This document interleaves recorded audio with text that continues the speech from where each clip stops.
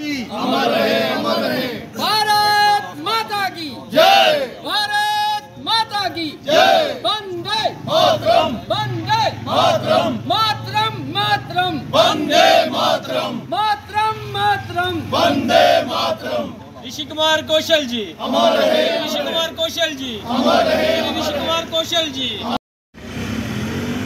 तो थोड़ा सा बताएँ आज ऋषि कु- कुमार जी को आज यहाँ पे याद किया गया है। उनके जीवन के बारे में थोड़ा सा बताएँ पहले मैं एक शेर से बोल करूँगा। हज़ारों साल हज़ारों साल नरगस अपनी बेनूरी पर रोती है। मुद्दतों के बाद होता है चमन में दिदावर पैदा। रियासी में मुद्दतों के बाद एक ऐसा दिदावर पैदा हुआ था, जिसने कि रियासी के लिए बहुत ज़्यादा कुर्बानियाँ दी। और रियासी नहीं, बल्कि जम्मू कश्मीर के लिए या पूरे हिंदुस्तान के लिए। महान शख्सियत है ऋषि कुमार कौशल जी। उन्होंने बाल जीवन से उन्होंने कोई काम नहीं, अपना प्राइवेट किया। उन्होंने तमाम ज़िंदगी अपनी जो थी, अपनी पूरी जवानी, बचपन और बुढ़ापा जो है, कौम के लिए, देश की सेवा के लिए अर्पण कर दिया था। ऋषि जी की एक बात क्या बता सकते हैं हम?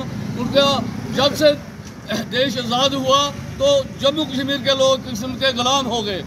शेख अब्दुल्ला ने यहाँ पर जो है हमारे पर कुछ ऐसे कानून राज कर दिए, जैसे कि परमिट सिस्टम था। तो परमिट सिस्टम जो था, यहाँ से अगर हमने जो दिल्ली में जाना है तो वापस आना है तो परमिट हमारे पास होगा तो वापस आ सकते थे, वरना नहीं आ सकते थे। तो ऋषि कुमार कौशल जी से मेरी खुद बात हुई है। उन्होंने कहा कि मैंने प्रेमनाथ मैंने डॉक्टर श्यामा प्रसाद मुखर्जी से ये बात कही। उन्होंने कहा, ऋषि जी, आप बिल्कुल ठीक कह रहे हैं। मैंने कहा तो उन्होंने कहा कि मैं जम्मू कश्मीर में आऊँगा और बगैर परमिट के आऊँगा। ये ऋषि कुमार कौशल जी ने उनको प्रेरणा दी थी। तो उसके बाद डॉक्टर श्यामा प्रसाद जी जो मुखर्जी जम्मू कश्मीर में दाखिल हुए बगैर परमिट के। तो उसके, उसको, उनको गिरफ़्तार करके कश्मीर की जेलों में। मार दिया गया। क्या हुआ अभी तक जो है? ये अरेस्ट बना हुआ है।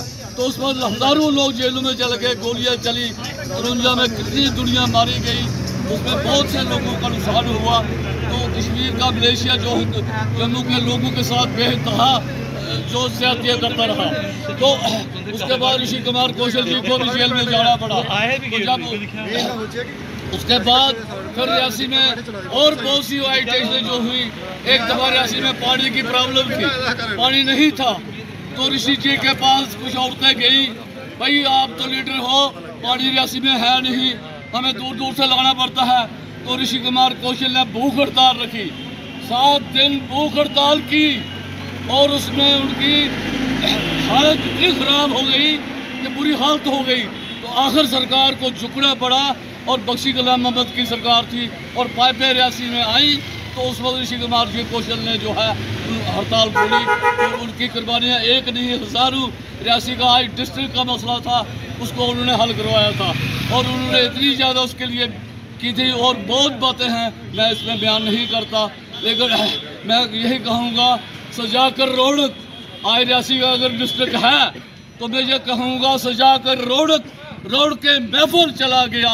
महफल तो है रोड के महफल नहीं है। आज ऋषि जी को हमारा जो है ये उनके पोते। हाँ जी हाँ भी। हाँ। तो ये बोलेगा बोलो। जी जी। नमस्कार। मैं विद्युत कौशल ऋषि कुमार कौशल जी का मैं पोतरा हूँ। रियासी से ही हूँ रहता बेशक जम्मू हूँ बट दिल और दिमाग रियासी से ही जुड़ा हुआ है। आज जो ये कार्यक्रम हुआ दादा जी के जन्मदिन पे ये रियासी के लोगों का प्यार है, जो प्रतीत करता है कि क्या उच्च कोटि के काम मेरे दादाजी ने भी किए होंगे अपने समय में, रियासी की जनता के लिए, यहाँ की पहाड़ियों के लिए, यहाँ की नदियों, नालों के लिए। तो उम्मीद यही हम करते हैं कि क्योंकि हम एक सोशल वर्कर परिवार बेशक पोलिटिकल पोलिटिकली भी दादाजी काफ़ी रहे हैं इन्वॉल्व बट सोशल वर्कर की तरह उनका एक चरित्र था। तो हम भी यही कोशिश करते हैं कि कुछ ना कुछ अपना योगदान देते रहे टूवर्ड्स सोसाइटी तो हम भी लगे हैं उसी राह पे और बाकी अपने सब बड़ों का आशीर्वाद भी हमारे साथ है।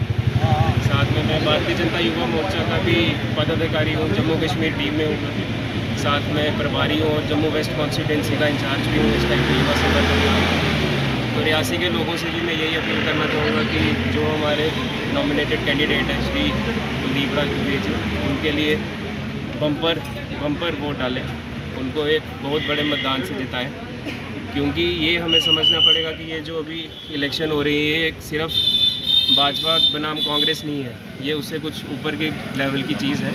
अगर ये लोग समझेंगे, एकजुट होंगे रिसेंटली योगी जी का बयान भी था अगर सबने सुना ही होगा तो वो भी एक इशारा ही था मैं बोलूँगा नहीं दोहराऊँगा नहीं बट सबको इकट्ठे होके आगे आना चाहिए जय माता दी ये कुमार कौशल जी की औलाद ये उनका खून है इनके वि- ताया जी ਹਾਂ ਵਿਪਨ ਜੀ ਜਿਹੜੇ ਇਹਦੇ ਤਾਇਆ ਨੇ ਪੂਰੀ ਰਿਆਸੀ ਛੋੜੀ ਹੈ ਜੰਮੂ ਕਸ਼ਮੀਰ ਦਾ ਵਿੱਚ ਅਗਰ ਕੋਈ ਵੀ ਬਿਮਾਰ ਹੋਈ ਜਾ ਚੰਡੀਗੜ੍ਹ ਸਿਰਫ ਇਹ ਨਾ ਪਤਾ ਲੱਗਣਾ ਚਾਹੀਦਾ ਕਿ ਰਿਆਸੀ ਔਰ ਇਹ ਜੰਮੂ ਦਾ ਇੱਕ ਮਿੰਟ ਵਿੱਚ ਉਹਦੀ ਭਰਤੀ, ਉਹਦਾ ਇਲਾਜ ਕਰਨਾ ਉਹਦਾ ਕੰਮ ਹੈ ਔਰ ਉਹਦਾ ਰਿਸ਼ੀ ਦੀ ਜਿਹੜੀ ਨਸਲ ਹੈ, ਉਹਦਾ ਕੰਮ ਕੇ ਸੇਵਾ ਕਰਨਾ ਹੈ ਔਰ ਸੇਵਾ ਵਿੱਚ ਜੁਟੇ